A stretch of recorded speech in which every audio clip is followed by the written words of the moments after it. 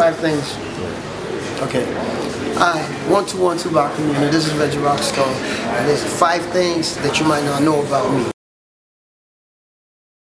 One, that I'm a bona fide martial artist, two times Ghana junior champion, youngest brown belt. Two, I can't read time. Yep, I can't read time.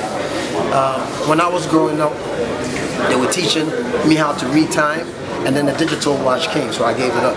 So till this day, I think it makes me unique, but I can't read time. Um, three, a lot of folks think that I was born with a silver spoon in my mouth. No, I come from real hustler genes. I was grown when my father made money, so get that out your mind. Four, uh, my oldest daughter is my biggest critic.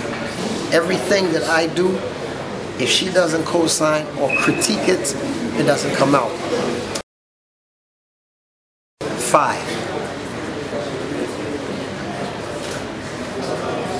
I'm trying to figure out number five.